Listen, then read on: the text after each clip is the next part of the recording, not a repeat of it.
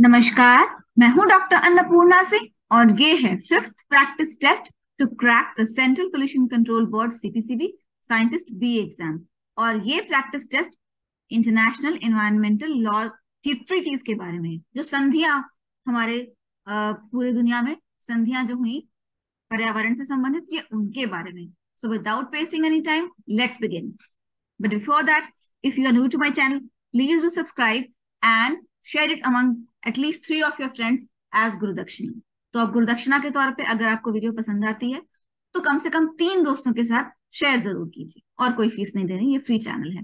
Question number one match the following A convention and Paris convention 1992 B Vienna convention 1985 Bamako convention 1998 and Basel convention 1992 तो हमको ये match करना है सही से।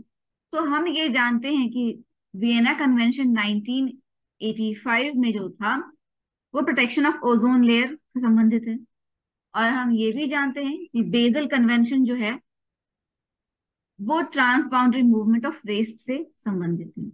तो हमको पता है कि D has to match with one and B has to match with three so let's look at the option option A B is match with three and D is match with one so A is the correct option okay Here, the point to be noted is Basel Convention was signed in the year 1989, but it became effective since the year 1992. Hence, Basel Convention is here written as Basel Convention 1992. तो bezel convention sign किया गया उन्नीस में लेकिन ये जो convention है ये कब से इफ़ेक्ट में है कब से ये लागू हुआ तो उन्नीस सौ बानवे में इसलिए उन्नीस सौ बानवे तो 1989 की जगह 1992 लिखा हुआ ठीक है, आगे बढ़ते हैं। The climate meet COP 22 was held in which country तो कॉप 22 जो क्लाइमेट मीट था, किस देश में हुआ था? मोरक्को साउथ अफ्रीका मलेशिया या Indonesia correct answer is Morocco question number three what was the theme for the international ozone day in the year 2022 so international ozone day her ozone हर साल जब ओजोन डे कोई भी day celebrate होता है तो उसका एक थीम रखा जाता है। तो उन्नीस सौ बाईस तो 2022 में जब इंटरनेशनल ओजोन डे सेलिब्रेट हुआ तो उसका थीम क्या था? A global cooperation to protect life on earth B ozone all there is between you and UV C ozone and climate restored by a world united और D thirty years of healing ozone together correct answer is A global cooperation to protect life on earth आगे बढ़ते हैं। Question number four. Which of the following is not a Millennium Development Goal? हम सब जानते हैं millennium development goals United Nations ने adopt किए हैं कि इस मिलेनियम में हम इन सस्टेनेबल डेवलपमेंट कैसे करेंगे? उससे जुड़ा हुआ गोल्स हैं। तो इनमें से कौन सा है जो मिलेनियम डेवलपमेंट गोल नहीं है? इंश्योरिंग एनवायरमेंटल सस्टेनेबिलिटी ये तो है। Eradicating extreme hunger and poverty ये भी है। Developing global partnership for development ये भी है। D achieving universal energy security ये मिलेनियम डेवलपमेंट गोल नहीं है so millennium development goals are goals related to sustainable development in the 21st century adopted by the United Nations. And D, achieving universal energy security is not a millennium development goal. Okay. Question number five. In the total global ecological footprint, which country has the maximum share? So we are talking about global ecological footprint, maximum pollution created by Which country? USA, China, India, or Brazil? Correct option is B, China, because the population is China is the maximum. So if they have the max, they create maximum pressure on resources. तो global ecological footprint की बात की जा रही है कि सबसे ज़्यादा पोल्यूशन या सबसे ज़्यादा रिसोर्सेज कौन सा कंट्री कंज्यूम देश कंज्यूम करता है तो आंसर होगा बी चाइना यहाँ पर ध्यान देने वाली बात यह है कि अगर पर कैपिटा इकोलॉजिकल फुटप्रिंट की बात करेंगे तब उत्तर होगा यूएसए पर कैपिटा मतलब हर एक नागरिक कितना प्रदूषण करता है या कितना रिसोर्सेज को कंज्यूम करता है? तो उस केस में यूएसए होगा क्योंकि यूएसए के लोग ज़्यादा कंज्यूमरिस्टिक ज़्यादा कंज्यूमर ज़्यादा बड़े कंज्यूमर्स हैं। लेकिन क्योंकि आबादी चाइना की ज़्यादा है तो, तो टोटल जो कंजम्पशन है वो चाइना में ज़्यादा होता है क्योंकि आबादी ज़्यादा है। पर पर हेड अगर देखेंगे तो यूएसए होगा और टोटल देखेंगे तो चाइना होगा। ठीक है?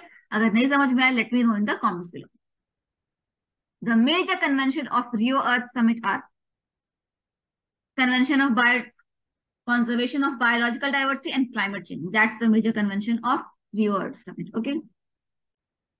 Question 7. Assertion. A wetland of international importance is brought under the Montreux Record.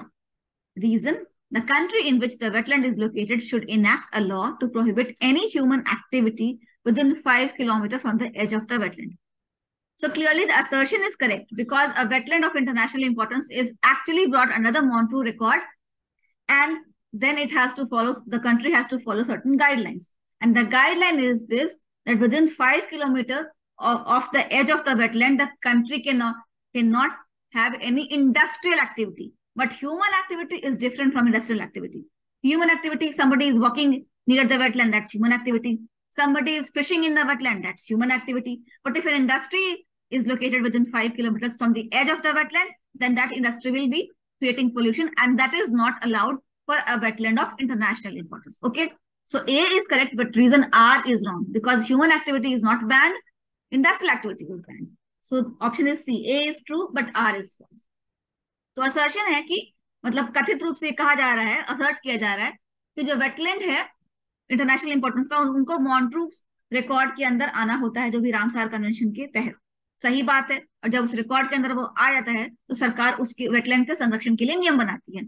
अब रीजन कह रहे हैं कि जो नियम है, वो ये है कि वेटलैंड के, का जो एक किनारा है, उससे पाँच किलोमीटर के दायरे में कोई ह्यूमन एक्टिविटी नहीं होती, कोई इंसान नहीं आ सकता, ऐसा नहीं होता है। पाँच किलोमीटर तक के दायरे में ह्यूमन एक्टिविटी हो सकती है लोग आ सकते हैं पिकनिक मना सकते हैं, मछली मार सकते हैं इंडस्ट्रियल एक्टिविटी नहीं हो सकती। तो जो ये सर्शन है मॉन्ट्रू रिकॉर्ड का वो तो सही है, लेकिन जो ह्यूमन एक्टिविटी की बात कही गई, ये गलत है। इसलिए सी होगा answer A is true but R is false A तो सही है, लेकिन आर गलत है, ठीक है? अब question number eight Basel Convention on Transboundary Movement of Hazardous Waste and Disposal was adopted in the year? Very easy question 1989 Basel Convention. और ये लागू हुआ उन्नीस सौ बानवे में, लेकिन साइन हुआ उन्नीस सौ नवासी में, ठीक है? In which year was the Ramsar convention signed तो Ramsar convention is one of the oldest convention and it was signed in the year 1971 at a place called Ramsar in Iran. ठीक है? सबसे पुराना कन्वेंशन है 1971 में sign हुआ। आखिरी सवाल what does Ramsar convention relate to तो रामसार कन्वेंशन किस बारे में है? बहुत ही आसान है। Wetlands of international importance specially as waterfowl habitat तो जो इंटरनेशनल इंपॉर्टेंस के वेटलैंड हैं, जो बड़े वेटलैंड हैं, जो बायोडाइवर्सिटी जहाँ पे पलती है, उन वेटलैंड्स के संरक्षण के लिए बना था। स्पेशली जो वेटलैंड्स के आसपास जो पानी में आ, से जीने वाली जो चिड़िया हो, चिड़िया होती है जैसे कि बत्तख होते हैं सारस होते हैं बगले होते हैं उनके कॉन्जर्वेशन के को ध्यान में रख के ये ट्रीटी बनी थी ये संधि हुई थी। तो यही Ramsar convention wetlands of international importance specially as waterfowl habitat waterfowl का मतलब वही पानी में रहने वाली चिड़िया बत्तख वगैरह ठीक है? आज के लिए इतना ही आशा है जो हमने डिस्कस किया है वो आपको समझ में आ गया होगा। कुछ लिंक्स मैं डिस्क्रिप्शन बॉक्स में दे दूँगी ताकि आप रिविजन कर सकें। Thank you. Jai Hind, Jai Bharat. Keep watching my channel and as Guru Dakshina, please share this video with at least three of your friends or WhatsApp please. Bye-bye.